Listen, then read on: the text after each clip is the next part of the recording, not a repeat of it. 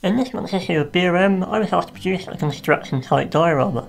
It's actually a really interesting idea for a topic, not only because we don't see them very often in models, but also because there are a variety of different approaches that we can take, from high-rise buildings to railway construction projects, and also the commercial buildings that I've got the front here.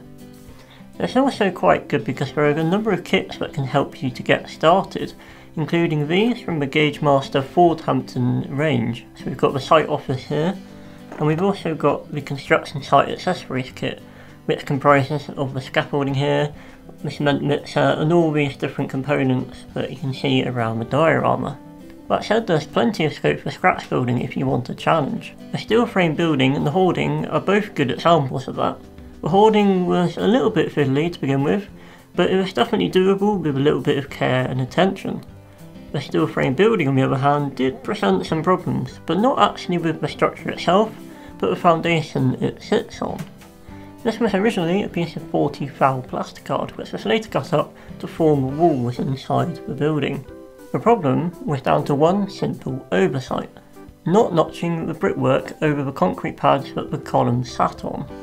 This meant that when it came to gluing the structure down, I was left with a 1mm gap underneath all the walls, which all had to be filled manually using a mix of plaster and concrete coloured emulsion. And as well you can probably imagine, that was a very tedious way to spend an hour. The structure itself was predominantly made from plastruct sections as you saw in the article. There were also extra flanges underneath formed from plasticard scraps. Reusing materials and even designing structures based on the materials you have to hand is a really good way not only to save money, but also to save on wastage.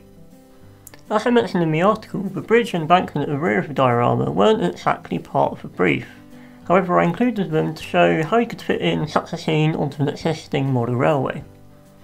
It also allowed me to share a technique of making concrete using Das air drying clay that you could use elsewhere on any other project. The bridge was based on two existing concrete prototype structures. One in Marchwood, near Southampton, which is where the wing walls and abutments came from, and the other was in Leeds, which the deck itself was based on. Merging two prototypes like this won't always work, but for modern structures you tend to have a little bit more leeway, as the designs tend to be either a little bit more generic, or perhaps simpler in form.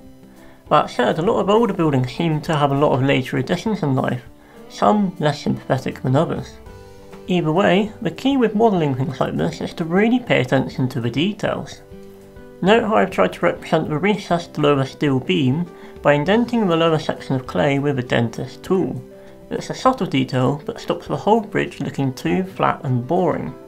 The wing walls also had a vertical texture added by scraping the dry clay with a fine tooth track saw from top to bottom.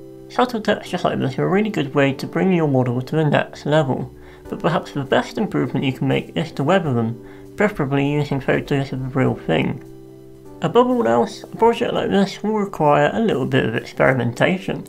The ground texture here is a good example of that.